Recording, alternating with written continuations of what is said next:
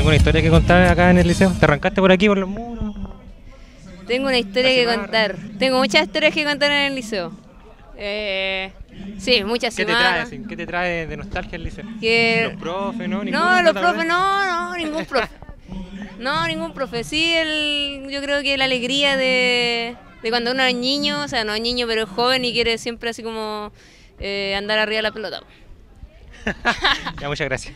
Mira, ha estado lenta, esperamos que pueda ir seguir llegando más gente y ha sido un ambiente como muy alegre también y muy como, como entusiasta. Así que, Hasta el momento ha sido como familiar. sí, hasta el momento ha sido familiar, yo creo que igual eh, no debiera cambiar mucho.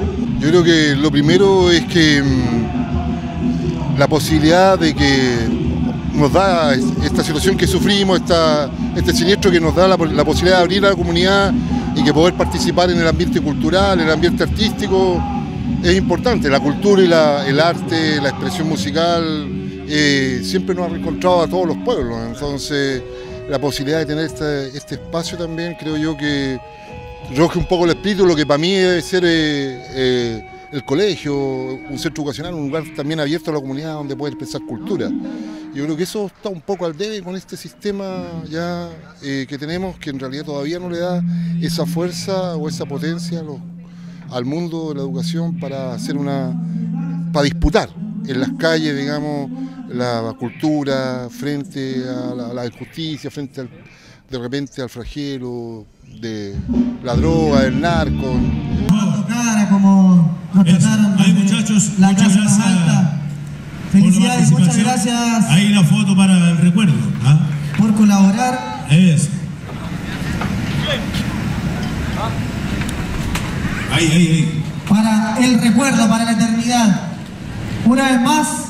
Mira, yo lo primero es una gran satisfacción porque hemos visto muchos alumnos, uno se da cuenta que al final llevamos harto tiempo, hay harta historia, ya eh, en el fondo este SEIM la historia la van haciendo los propios alumnos, los propios colegas, los propios compañeros, ya los apoderados, todos van haciendo la, la- la historia del SEIM.